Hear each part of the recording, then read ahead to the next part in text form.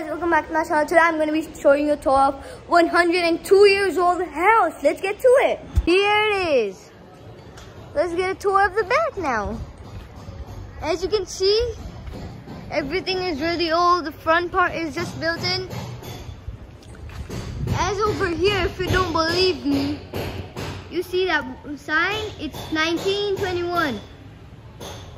It's from 101, 102 years old. Sorry, I you made can a mistake see that. Look at that. It's all, you know, old. Everything is old right now. 102 years old. This tree is more than 102 years old. If you don't believe me, I'll show tree you compared to my hand.